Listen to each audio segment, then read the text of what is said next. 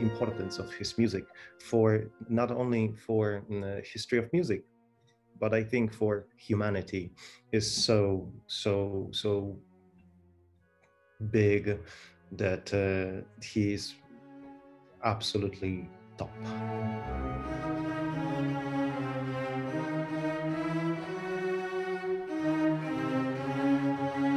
After Ninth Symphony, he still wrote a lot of music. No more symphonies, unfortunately. But what could you write after after Symphony Number no. Nine? That would probably be uh, impossible.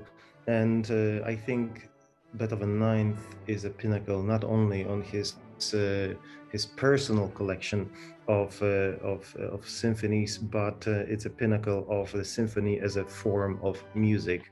And uh, of course, the Ode to Joy, the last movement, is the most famous.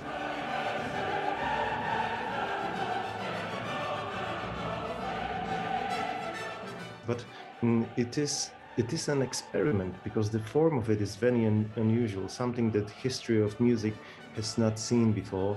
Not only because uh, it includes, for the first time in the musical history, the human voice as a part of it, uh, but uh, but the form of it is very unusual and uh, and uh, it truly it's something very unique. But the previous movements uh, they cannot be neglected in any way because uh, the level of writing in the first movement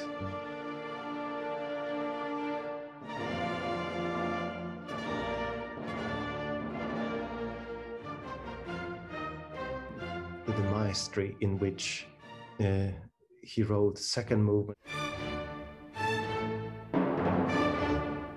which is simply incredible. It's a uh, you might say, a simple rondo for scherzo, but uh, he just developed this uh, musical form coming from a dance-like minuet into something uh, something that never existed before. So, so the whole symphony, not only its last movement, but the whole symphony is absolutely mysterious.